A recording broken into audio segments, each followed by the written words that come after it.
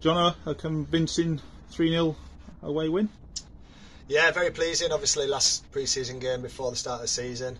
Thought the boys were uh, excellent first half, um, put a real shifting off the ball.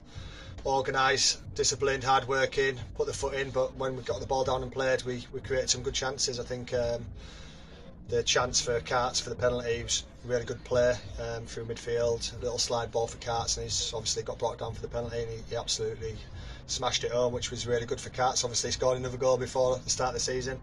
And then um, I thought the second goal was very good as well. You know, uh, some good play down the right hand side, a nice little position by little Nick Hutton and a little slide pass. And Keys, uh, who, who were asking to get forward in the first half, um, said he miskicked it in the goal. So delighted for him because you know it's been a tough year for him. So to get nearly 60 minutes tonight and uh, get some match minutes was and a goal was brilliant for him.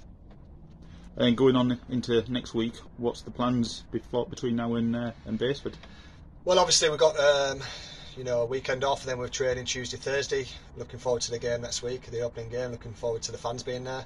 Um, hopefully, fingers crossed, try and get a few more players in. Um, obviously, Ryan's signed for us uh, yesterday or today officially, uh, and played tonight. Who I thought was excellent tonight, commanded his area really well you know, a couple of good saves and very good with his feet. So um, yeah, you know, we're trying to get a few more players in as well. But I thought the lads tonight all put a good sh- shift in and, and, showed me that they want to be in the starting team for uh, next Saturday. Cheers it. Pleasure.